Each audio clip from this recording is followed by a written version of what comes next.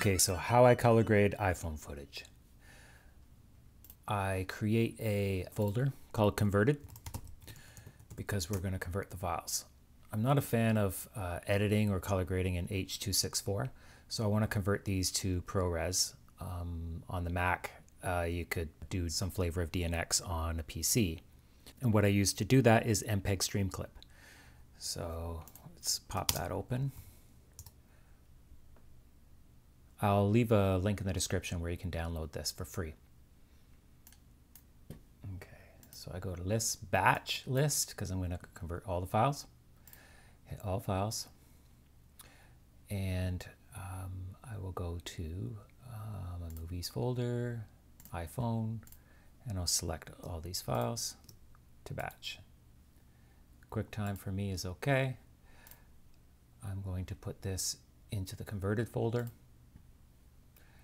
and we'll scroll up to I probably because it's an iPhone I probably only need ProRes 422 but I always go to HQ I don't think this really makes a difference but um, I don't think it has an effect but just to be safe I scroll it up. And everything else I just leave as is because I'm not trying to change a frame rate or do anything like that. To batch. And now I just hit go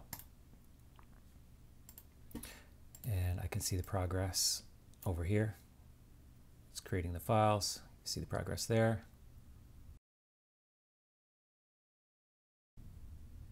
And when it's done, we just close this out. And this is the footage that we're going to color grade. So in preparation of that, I'm going to create another folder here called CC'd. That's for when we render it out later. Okay, and we'll go into DaVinci Resolve.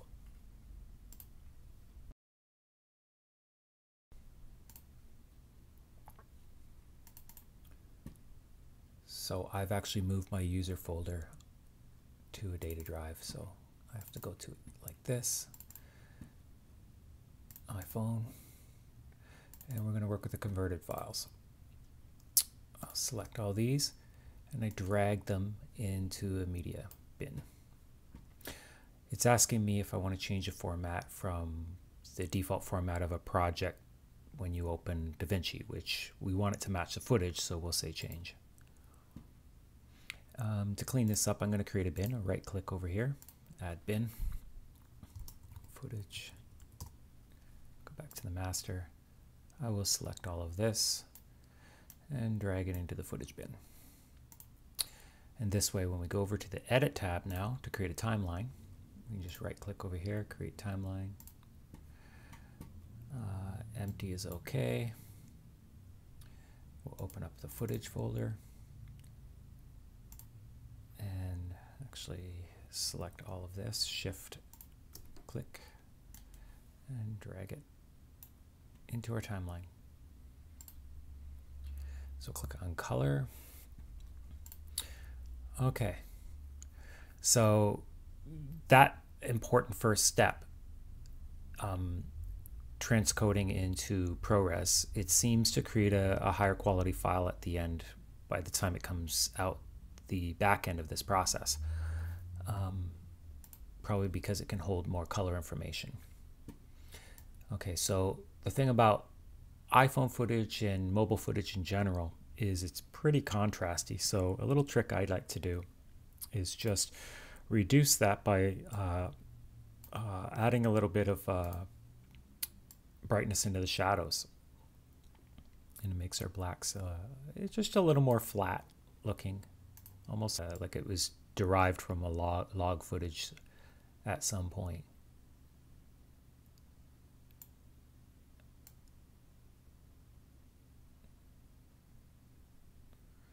Okay, and I am paying attention to my scopes here. Normally, if you want, if there's a lot of black and you want that black to actually touch the zero, so it's like a deep, crushed kind of black, but I want my blacks lifted because it's a big, wide, open scene here.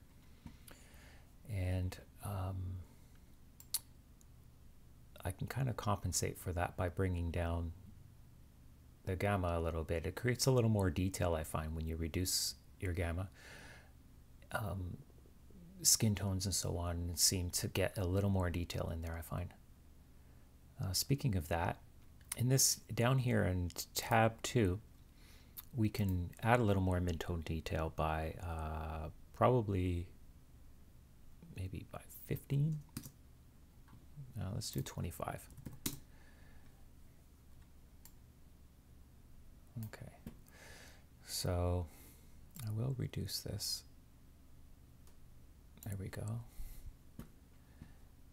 And our gain, we can see it's clipping up there a little bit, which is okay. It's probably the light from the clouds over here. And we'll just bring it down. I'm going to let it actually kind of clip a little bit into this, this uh, 1023 mark here. And then I'm going to use the soft, uh, high soft here just to kind of pull it down. Now, if I'm on this node, I can uh, press Command D to turn it off. So yes, it's brighter and more contrasty, but this just looks like a little better quality footage, I find. And we can still push the gain itself up a little more and just kind of toggle it back with the high soft. Now on and off, on, just seems a little richer this way, I find. And we can also add a little, go back to tab one, a little more saturation. I don't know, 55 might be too much, but no, it's pretty good.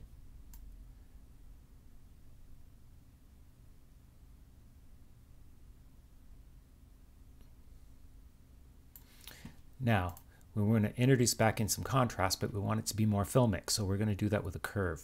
I'll do that on another node. So click node, add serial node, and just create that little bit of an S curve here.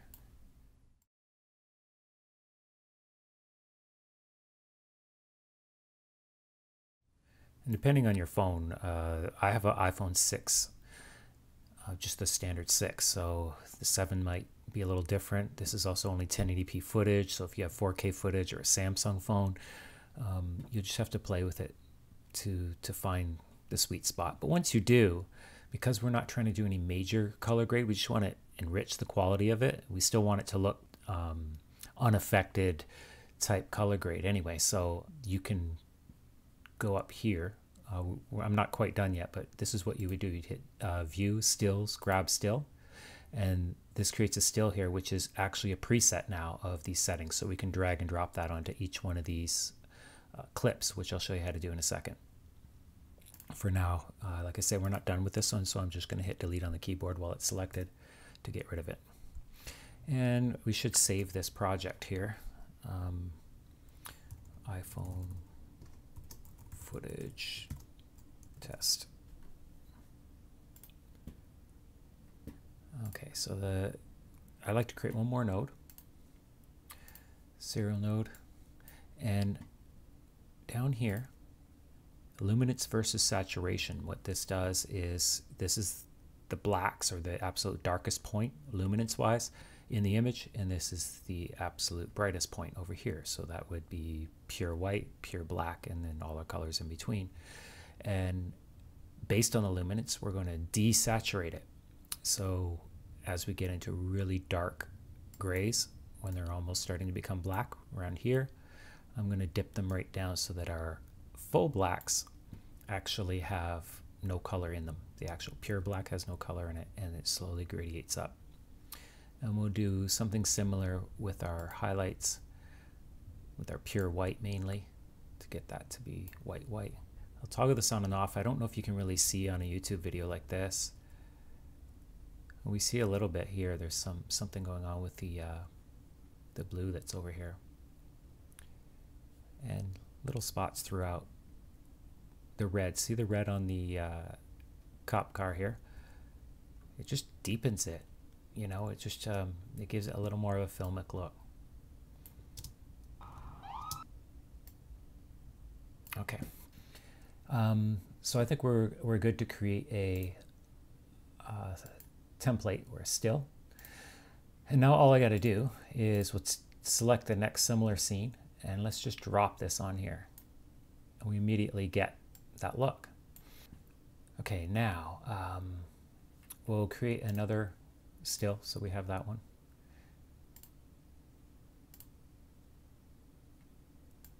And this is video footage. This is actually a time lapse I did with the iPhone.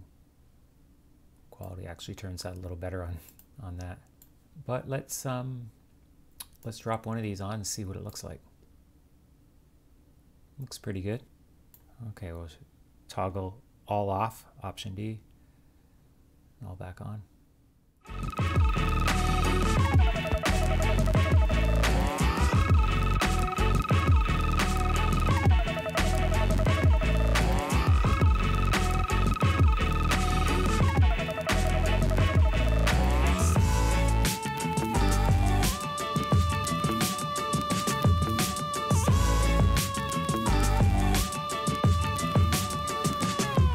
So the main thing about here is the midtone detail. So we're adding more detail into this footage, just kind of sharpening it, and um, and trying to uh,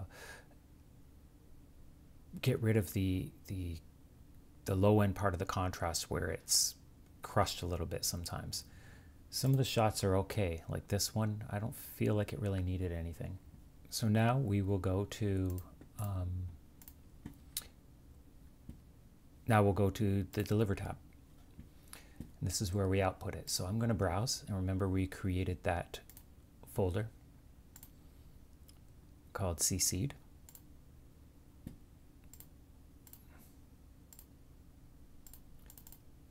So we select that, and that was from the browse button there. And we want to um, say individual clips, and we'll go to the file, uh, we don't want custom name, we just want the source name because it's in its own folder so we can keep all the source name, which is actually good when you go to edit um, and you were editing with the non-color graded files. Now you can just copy these files into that folder and it will overwrite them and then you just have to re-render out of say Premiere or Final Cut. Okay, make sure I've got everything right there. Okay, so we will click add to render queue. That puts it over here. I'm just going to do a command S to save it before I start my render. Start render.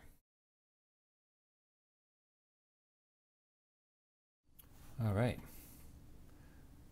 So now we can quit DaVinci, see our CC'd files. Let's open this up. Uh, let's say VLC.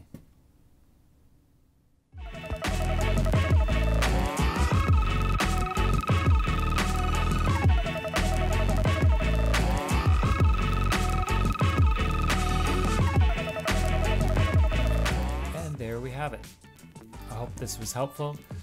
And if you like filmmaking videos, please consider subscribing. And thanks so much for watching.